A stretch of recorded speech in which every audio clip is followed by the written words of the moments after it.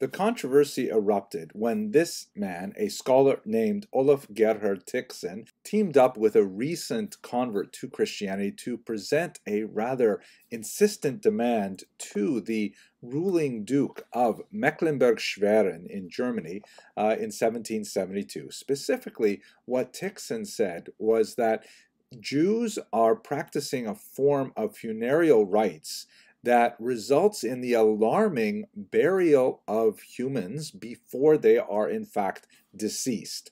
This is a terrifying kind of thing. This is not dead and buried, so to speak. You can see I've here I've provided a few examples of some very reputable news organizations like Reuters and New York Times and Newsweek. I've also included Fox News as well. Moses Mendelssohn was approached by the community of Schwerin to address the issue.